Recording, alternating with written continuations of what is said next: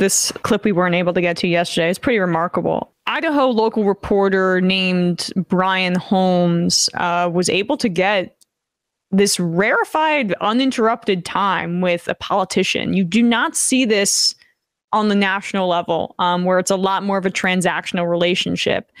Marjorie Taylor Greene got a ton of press for going to Nick Fuentes' America First PAC conference, um, which was happening in Florida at the same time as CPAC, I believe. So there was some crossover.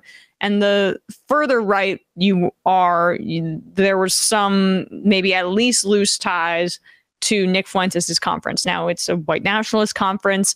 Um, obviously there you're going to get some blowback for appearing or associating with someone like Nick Fuentes and this is a very high up Idaho politician um, who appeared or made an appearance. It might have been pre-recorded uh, at Fuentes' PAC. We can confirm that in a bit. Um, but here she is being questioned by Idaho local reporter Brian Holmes. Uh, her name is Janice McGeachin, and she is the Idaho lieutenant governor. So no small position there.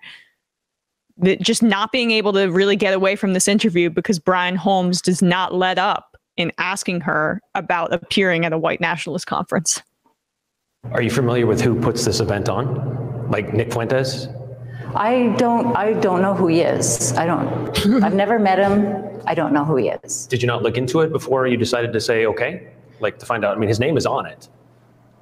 Well, you know what? Nick Fuentes, I don't, as I said, I don't know him. I, he, he's never, I've never met him. I don't know, you know, what, what is, what he's, everything that he says or doesn't say is not. I may have spoken at the Nick Fuentes conference for uh, being a big right winger, but I don't know who this guy is. Uh, uh, uh Fuentes uh, does not reflect on who I am or who the thousands of others that are participating in this movement. You didn't bother to look up his name or anything? I didn't say that. You, you did look him up? Wait, hold on, pause it. She, she, she said that. She says she doesn't know who she is. Wait, let's go back, right? Let's uh, roll the tape because pretty sure she says that she didn't know who he was, right? Because, you know, there's certain folks that you don't need to actually meet them uh, you can actually learn about them online and make a judgment from there. Yeah, but she's saying that she doesn't know who he was. So uh, he then asks, Did you Google him or look him up? So maybe she just Googled his name and didn't click on anything or put on sunglasses so she was unable to really read her computer screen. Maybe that's part of what happened. Well, you know what? Nick Fuentes, I don't, as I said, I don't know him. I, he, he's never, I've never met him. I don't know, you know, what, what is what he's everything that he says or doesn't say is not uh, does not reflect on who I am or who the thousands of others that are participating in this movement. Okay. You didn't bother to look up movement. his name or anything? I didn't say that. You, you did look him up? You, you, you didn't, that's not the question that you asked. did you look up who Nick Fuentes was and what he, he what he's talked about? Like what he, things he has said? I have since. Since last week, not before? Yes. Okay, I guess the question is, because you, if you've said, well, I'm only here And it's not fair. You- I mean, you, the mainstream media, you do this to conservatives all the time, but you don't do it to yourself. That every time, anytime mm. there's any kind of affiliation with anybody at any time on any stage, that we're all guilty by association. Pause it. How about name those associations? Like you, go on trot out your like it's psycho antifa conspiracy theories, yeah right, right, exactly i mean nick fuentes uh, is a unite the right guy charlottesville guy uh, regularly says the n-word for fun here's that kind of dude here's just a sentiment uh, uh, repasted from the Anti-Defamation League, where Nicholas J. Fuentes said, "What's really important to understand is that the crisis in race relations in the country basically amounts to black failure. And how do we uh, explain the continued disparity in just about every measure? He's basically a Charles Murray guy, yeah, um, uh, IQ guy. So uh, yeah, he's a big time uh, white uh, white nationalist Nazi, and you know, if I had affiliations that were as troubling, uh, I'd welcome conservatives to make me answer for those. Yeah. Uh, and uh, just like as we are making her, look at how shifty she looks. Well, I mean, like let's let's see. See, she's about to uh, go off on the mainstream media and their hypocrisy. Let's see if she can come up with a with a counterexample. Maybe Matt uh, that that will will satisfy have the Lügenpresse here. Yeah. With anybody at any time on any stage that we're all guilty by association and it's not it's not appropriate But it- the association is, is not a good one. To be associated with people who are anti-Semitic It's not just associated with people, it's conferencing with them. Yes. But or, stop stop excuse me excuse me yes. you asked me why I was there, why I wanted to participate and speak to these young conservatives. That's that's what we're talking about right now. White nationalists. Uh, Vincent James was also there. Correct? Do you know who Vincent James is?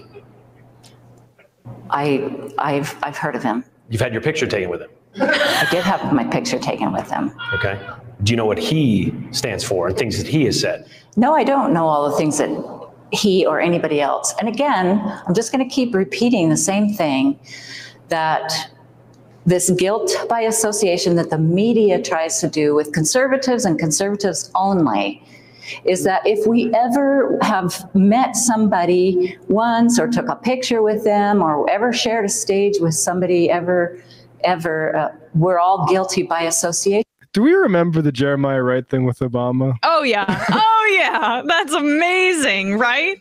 Acorn. Oh my god. No, but like the Jeremiah Wright thing is such a good such a good point because that like you know, the, the, the that's uh they went to town on that and that's way more analogous but like she literally just spoke at this conference we we They acted going. like Obama was like programmed by Jeremiah Wright to take down the American empire. yeah exactly he hates america listen to jeremiah Wright. all right um. If you want to know why I went there and why what my message was, Yes. go go watch my video. I did watch your video, and if you so had that's known, what it was all about. if you had known who Nick Fuentes and- is, would you have said yes?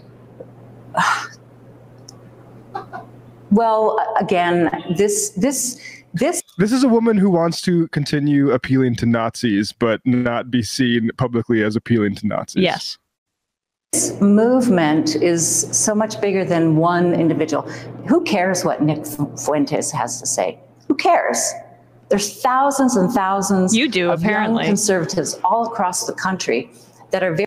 Yeah, a lot of uh, quote unquote young conservatives want to hear what this Nazi has to say. Very concerned and about what's happening to our country. We are fighting for the soul of our nation with these wide open borders. It's only a matter of time that America we lose who we are as a free country. And a white demographic. And so, and I'm not going to run away. I'm not going to hide from being being willing and wanting to go talk to young conservatives, about Conservatives. these issues. If you say nobody cares what Nick Fuentes says, but people care that you're associated with them or that you share a stage with someone. Again, you're trying to you're trying to do this guilt by association over and over and over again, and it needs to stop. Because if you want to know who I am and why I went there, I've told you that. And you know, my don't assassinate me or my character over Don't assassinate me or my characters. the first que- the No, first uh, request i think is fair Uh, don't assassinate me i can't I, I had no intention, man. yeah.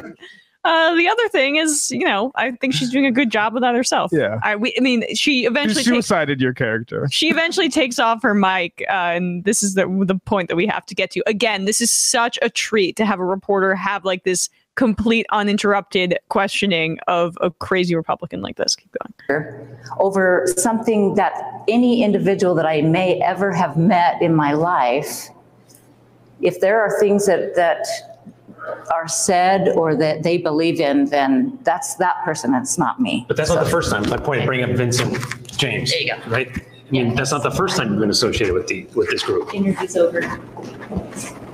I would- Hmm. So uh, this is Vincent James. Vincent, he goes by Vincent James Fox, a 31 year old video blogger and live streamer with a fondness for white supremacist radical right wing politics. That was the person who she was photographed with.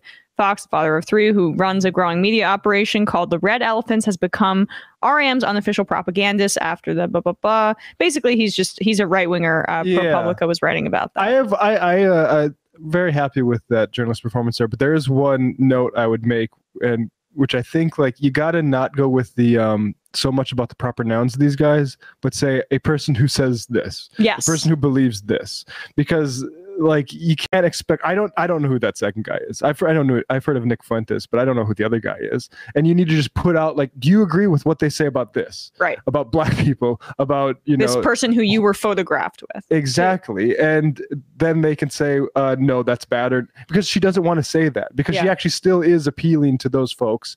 The Um, young conservatives that she talks exactly about. There. Yeah. and you need to put her on what make her own it or make her not but this way she's still able to skirt around it a little bit And another question I would ask would be why do you believe that these young conservatives want to hear Nick Fuentes speak yeah do you think that's good or bad and also hear you speak? Is there a uh, an overlap there that I don't know, maybe you want to reckon with?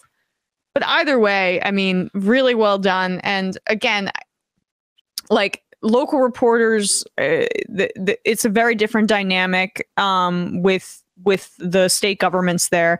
But I think it sheds light on how how theatrical and silly so many of our national political interviews uh, are um, because that's the kind of questioning of the the our elected officials that is supposed to be commonplace no longer yeah and they're going to continue appealing to these folks like uh, i like this has only gotten worse since my um sort of professional involvement in watching this stuff on a day-to-day basis for like last like six years. They tried to like stop the steve king stuff but this is just too important of an energy source for their sort of electoral politics. And they can't be seen saying i uh i condemn nick fuentes and that sort of like white nationalism shit